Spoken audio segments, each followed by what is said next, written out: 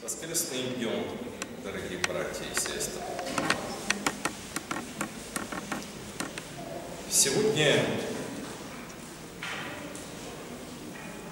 во второй неделе Великого Поста, Святая в Церковь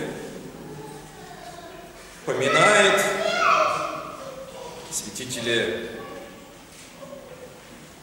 Григория Паламу, архиепископа Фессалоникийского, который изложил учение о божественном фаворском нетварном свете. А почему именно вдруг сейчас церковь вспоминает фаворский свет? Никто не задавался этим вопросом. А ведь именно сейчас, по существу, произошло, произошло преображение Господне. Мы празднуем праздник преображения в августе. Но ведь преображение было когда? Преданию, за 40 дней до крестных страданий Господа нашего Иисуса Христа. И попадает как раз на вторую неделю Великого Поста. Кстати, а почему в августе преображение стали праздновать?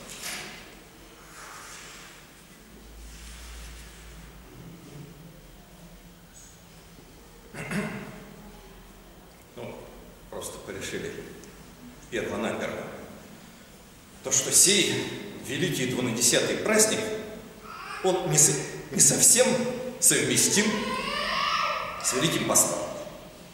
И поэтому его вынесли за пределы Великого Поста. Но, но когда преображение празднуется? За 40 дней перед каким праздником? Воздвижением честного животворящего креста Господня. То есть тогда, когда мы тоже вспоминаем крестные страдания Господа нашего Иисуса Христа. То есть вот этот вот перенос празднования праздника преображения Господня на август месяц. Вот. Это тоже очень символично и отнюдь не случайно.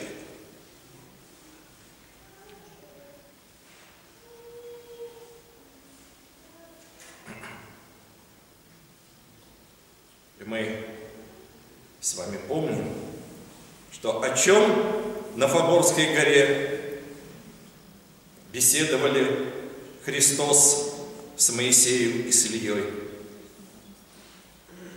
о его грядущих крестных страданиях.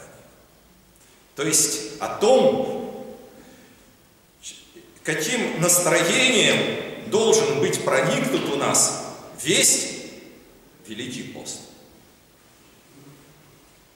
Недаром следующая неделя Великого Поста, неделя крестопоклонная, когда мы особо вспоминаем крестные страдания Господа нашего Иисуса Христа и поклоняемся честному животворящему кресту.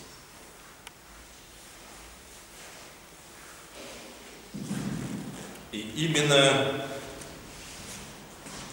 эти грядущие страдания Господа нашего Иисуса Христа нас должны отрезвлять. Должны нас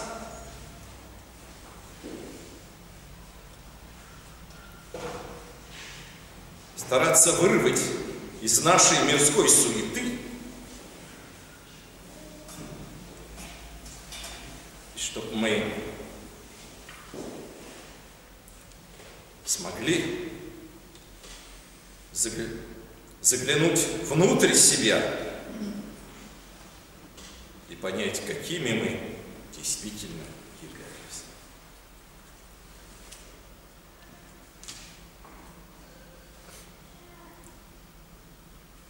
Святитель Григорий Плома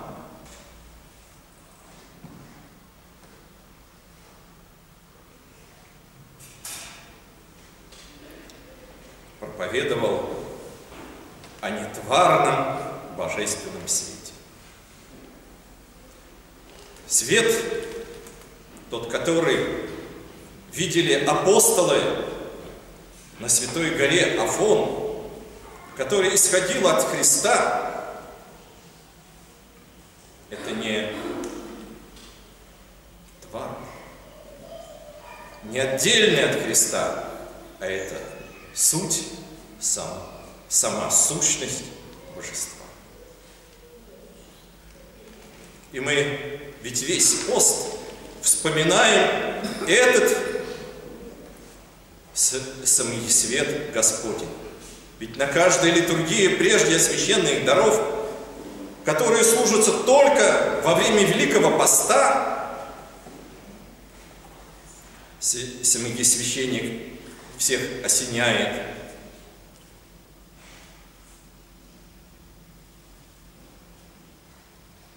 Свечой скатила со словами «Свет Христов просвещает всех».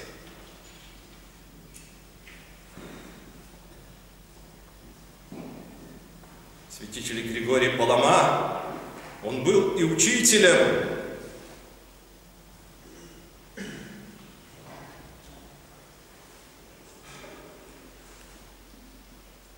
безмолвной. Учителем именно Иисусовой молитвы, которая творится в глубине нашего, которая должна твориться непрестанно в глубине нашего сердца.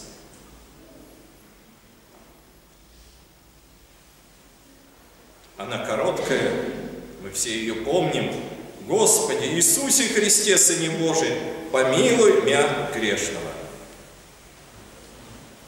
Или даже,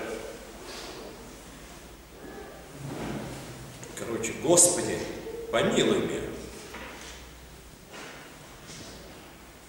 Мы обращаемся к Господу.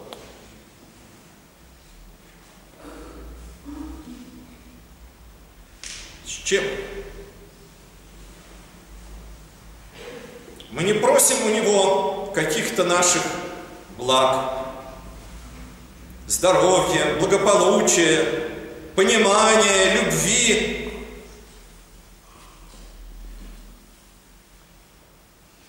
Но просим у Него одного единственного – спасения, чтобы Господь нас помиловал. Помиловал кого?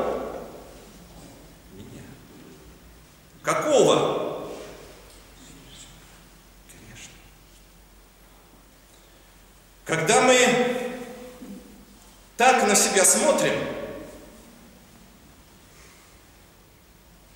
то у нас нет помысла глядеть по сторонам и подмечать недостатки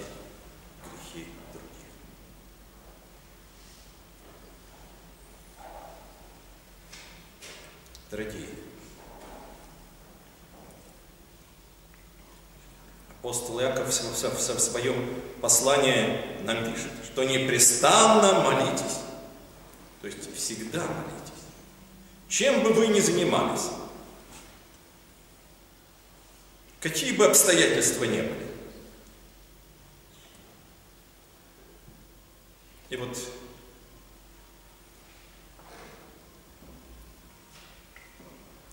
по нашему несовершенству, по нашему, по нашей греховности, мы часто не можем сосредоточиться на каких-то длинных молитвах. Да, мы их читаем, мы их произносим.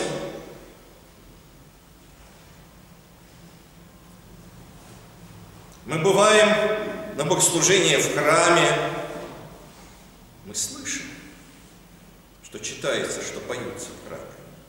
Но очень часто у нас ум разбегается и не может сосредоточиться на тех молитвах, которые мы сами читаем, или самые, которые читаются, поются. Но вот на этой короткой молитве у нас всегда хватит внимания, чтобы на ней сосредоточиться. И вот будем стараться, дорогие,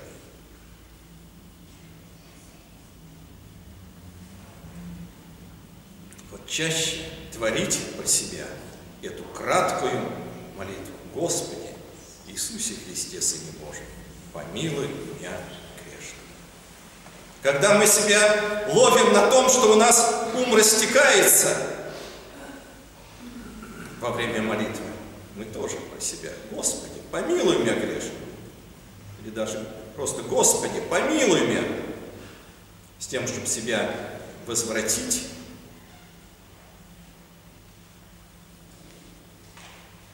в молитве.